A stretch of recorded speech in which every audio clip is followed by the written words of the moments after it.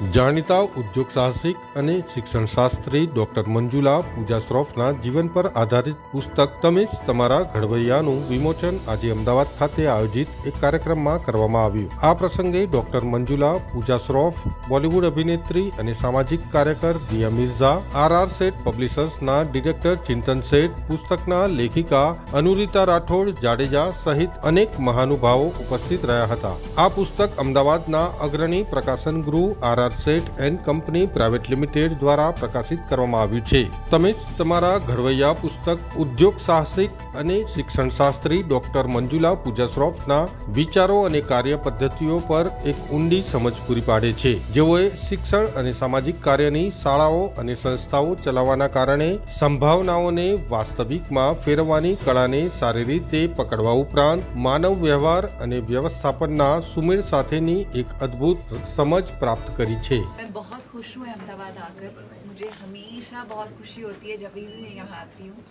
तो अ, लेकिन आज मैं एक ख़ास इंसान के लिए आई हूँ। मंजुला पूजा श्रॉफ जी ने एक बहुत खूबसूरत किताब लिखी है। उनके ज़िंदगी के वाक़यात हमारे साथ शेयर किए हैं। और अ, मैं यहाँ पर आई हूँ उन्हें सपोर्ट करने के लिए उन्हें सेलिब्रेट करने के लिए और इस उम्मीद के साथ कि आप सब उनकी किताब पढ़ेंगे और उनसे वो चीज़ें सीखेंगे और समझेंगे जो उन्होंने ज़िंदगी में हासिल करने के बाद हम सबके साथ शेयर किए हैं। अच्छा, ये किताब के बाद कोई प्लानिंग है इस पे मूवी या कुछ प्रमोट करने की शी इज़ एक्चुअली तो ये किताब बहुत इंटरेस्टिंगली ये मैम ने लिखी हुई है। उनकी जो आजकल ना लोग पूरी पूरी किताब नहीं पढ़ते। And I think the publishers and the author understand that तो उन्होंने क्या किया है? जो सेक्शंस हैं इनकी लाइफ के और जो इंस्पिरेशंस हैं उनको बहुत इंटरेस्टिंगली छोटे छोटे इंस्टेंसेस में सेपरेट करके अंडर डिफरेंट टॉपिक्स शेयर किए हैं। तो आप किताब का कोई भी पन्ना पढ़ के खोल के पढ़ सकते हो और ऐसा नहीं होगा कि शुरू से पढ़ते होते तो ज़्यादा समझ आता है ये वो। So it's a book that you can just pick up and read at any point any way which is encouraging क्योंकि lots of people don't have the time patience anymore to read a full book. So whenever you feel like a shot of inspiration, you just pick up the book and open a page uh, and read it. That's the most interesting thing. तो um,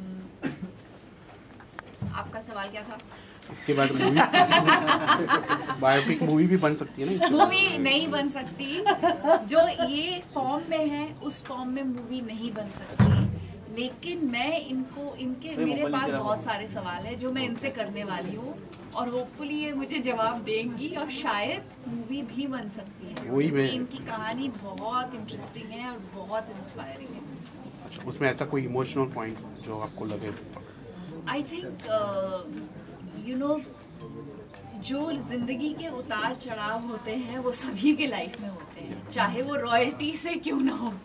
And that to me was the most interesting aspect of the book कि हम सबको लगता है कि of course जो जिस परिवार में हम पैदा होते हैं, उसमें हमारा कोई से नहीं होता वो मतलब डेस्टिनी होती है।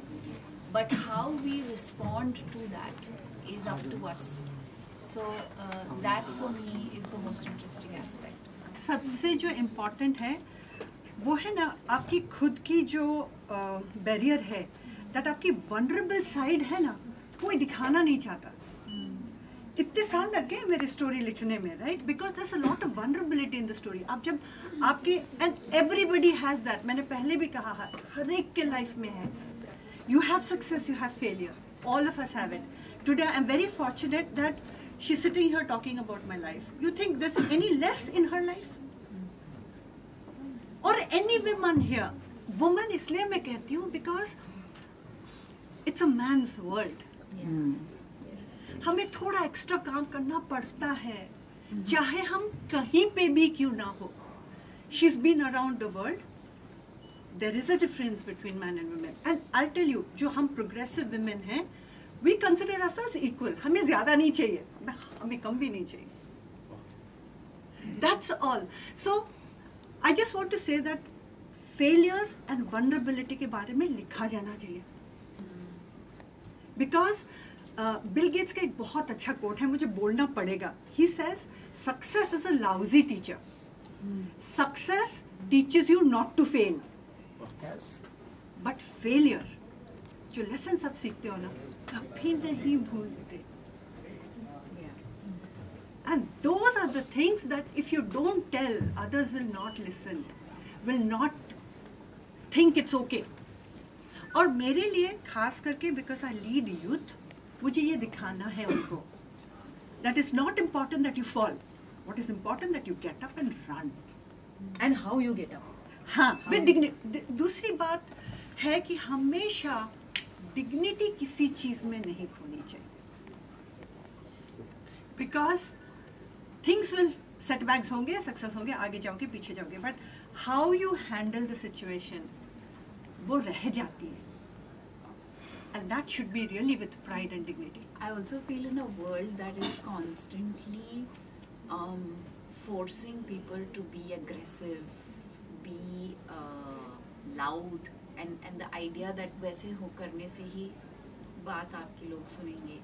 In the middle of that, to hear somebody talk about the the, the the importance of courage along with dignity and grace, because these are qualities that are, you know, being lost now in the narrative of communication and so important for young people to know ki you can be silent and heard.